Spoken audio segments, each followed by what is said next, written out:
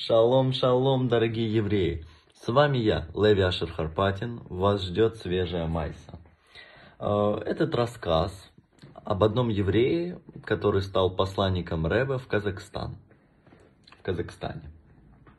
Он родился в многодетной семье. Их было 12 человек, 12 детей. 7 мальчиков и 5 девочек. Это была самая счастливая семья.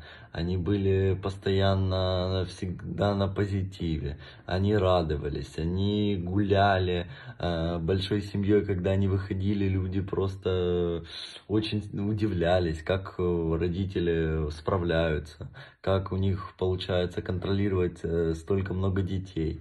Были абсолютно разные возраста, друг другу всегда помогали. И как однажды мама, мама покинула этот мир, эту семью, э, и дом превратился уже не в такой счастливый дом, не в такой радостный.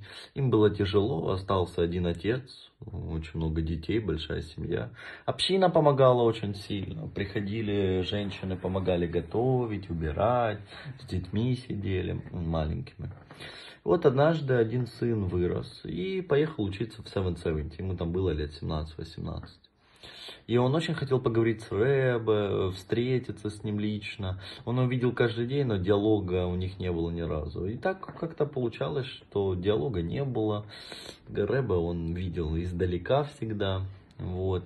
И однажды он решился и, и пошел прямо к нему в кабинет.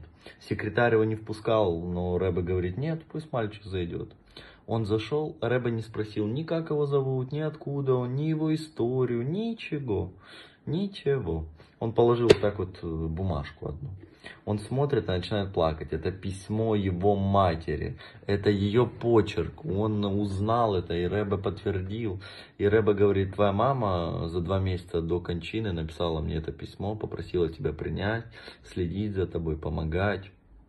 И очень сильно э, была расстроена. Это я понимал это через буквы. А, и она все знала, как обернется, поэтому ты здесь.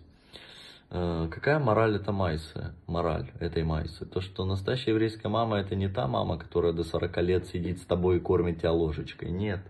Это та мама, которая никогда тебя не отдаст, никогда тебя не предаст, не променяет ни на что. Которая до конца своих дней будет за своего ребенка. И которая в любой ситуации думает о, благ, о благо своих детей, а не о себе. Браха слаха, всем хорошего дня.